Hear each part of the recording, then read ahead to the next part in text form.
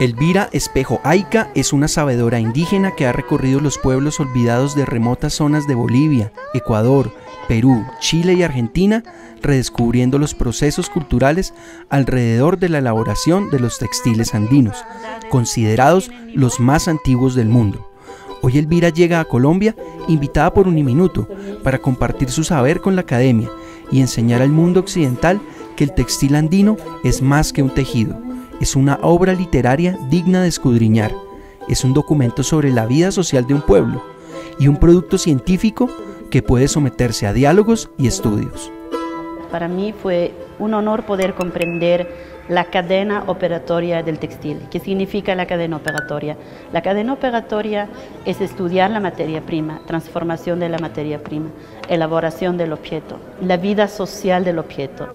Un objeto tiene lengua, tiene identidad, tiene cultura, tiene ciencia, tiene economía, tiene comunicación. Creo que es muy importante porque esta red de construir en términos de comunicación, en términos de recuperación, en términos de respeto mutuo entre uno y el otro, creo que nos podría ayudar a entender mejor y creo que Colombia tiene las bases. Tanto mujeres y hombres que trabajan en este campo que ayudemos a la juventud a reflexionar de qué es lo que tenemos y cómo se leen estas acciones, para tener un equilibrio, para poder entender estas complejidades que no solamente corresponda a una especialidad externa, sino también lo que somos nosotros en términos de ciencia y tecnología.